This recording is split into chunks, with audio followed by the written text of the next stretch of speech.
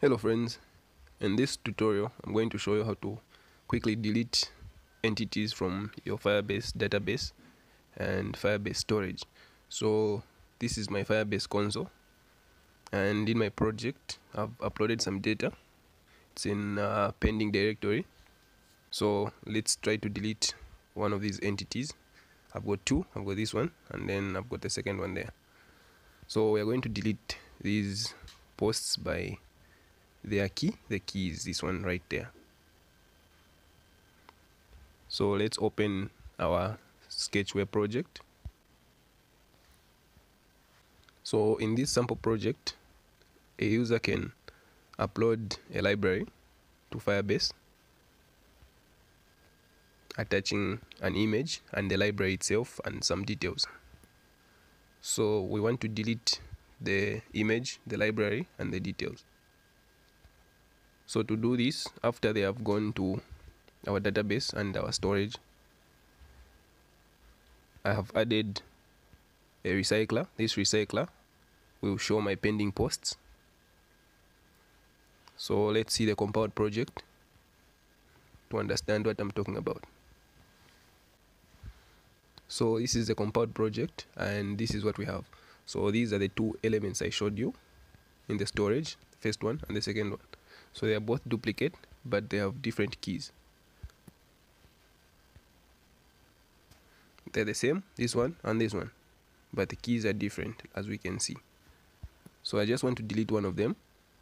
We're going to delete uh, this one. So you've seen our database has got two elements. So once we delete this we're going to remain with one. So let's look at the delete logic so in my recycler I've added my delete logic. And this is the delete logic. So my delete logic is inside a dialog. And if I say yes to deleting we are going to check if my list map contains library.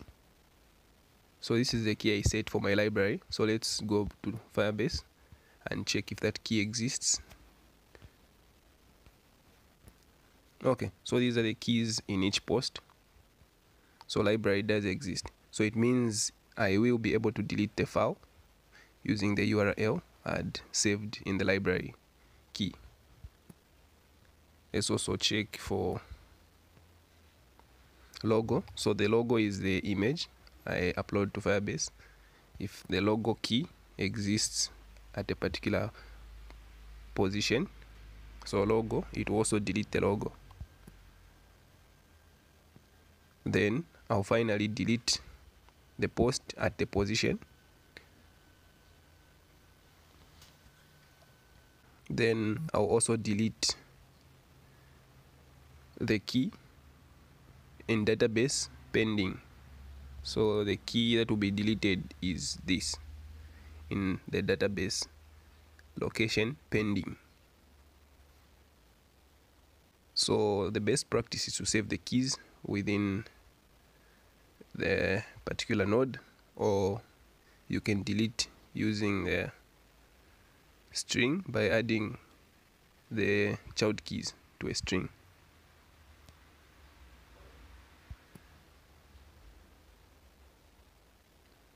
Then we have to refresh our recycler view. So that's how I refresh the recycler recycler view remove all views so that it reflects the deleted entity.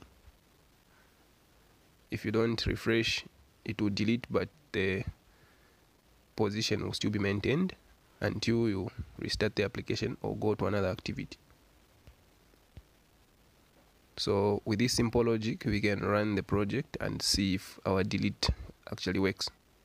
So the keys here just make sure the keys you insert here do exist in your firebase. In short they're supposed to be keys that you push to firebase?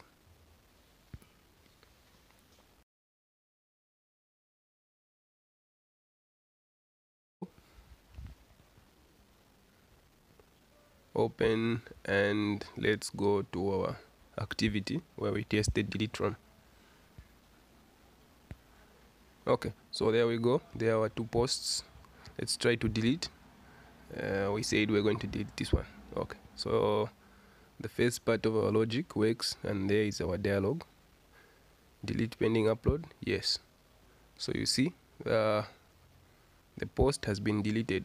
So let's go back to our firebase console to confirm if it has been deleted there as well.